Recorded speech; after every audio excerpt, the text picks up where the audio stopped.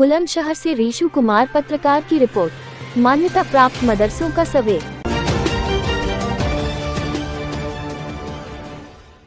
बुलंदशहर में शुरू हुआ गैर मान्यता प्राप्त मदरसों का सवे सवे में पहला मदरसा ही गैर मान्यता प्राप्त मिला। शासन को भेजी जाएगी रिपोर्ट उन्नीस सौ बानवे से बुलंदशहर में बिना मान्यता के चल रहा है। जैनपुर गाँव में मदरसा जनपद में सैंतीस मान्यता प्राप्त मदरसे है। गठित टीमों ने 12 बिंदुओं पर शुरू किया है। सवे मदरसे में महिलाओं व बच्चों का होता है ऊपरी इलाज।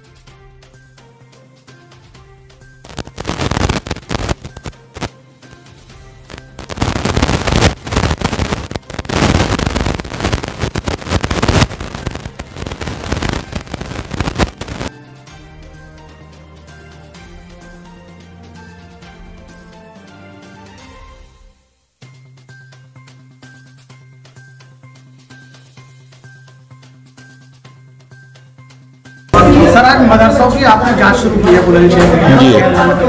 आप यहाँ मौके पर हैं जाँच में क्या पाया? जाँच में यहाँ पे ये पाया गया कि इनका रजिस्ट्रेशन नहीं है। इन जैसा इन्होंने बताया कि रजिस्ट्रेशन के लिए इन्होंने अप्लाई किया है। उसका सत्यापन जो है जिला अल्पसंख्यक कल्याण अधिकारी से कराया जाएगा। यहाँ पे पंचानवे बच्चे जो है अध्ययनरत हैं। जो यहाँ पे आवासित होकर के रहते हैं, उनके शिक्षा शिक्षा रूम का और जहाँ पे ये बच्चे रहते हैं, दोनों का निरीक्षण किया गया।